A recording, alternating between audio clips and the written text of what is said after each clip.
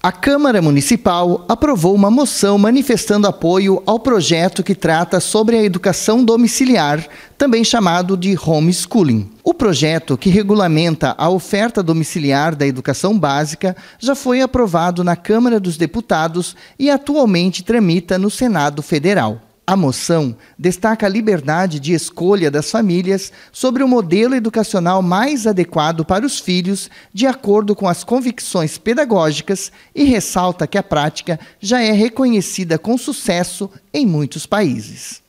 A proposta considera as discussões e ameaças enfrentadas por famílias que optam pelo homeschooling, ressaltando a importância desta modalidade para o avanço do sistema educacional brasileiro ao proporcionar liberdade de escolha e respeito aos valores familiares.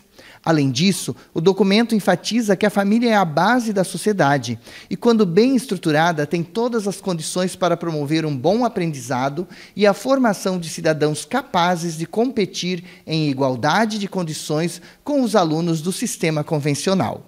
Os autores alertam que há também diversos casos comprovados de sucesso no aprendizado através de homeschooling, reforçando a eficácia desta prática.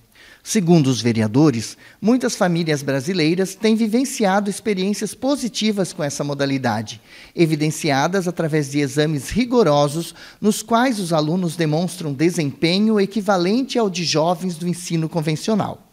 A moção foi enviada ao Senado para a ciência do apoio.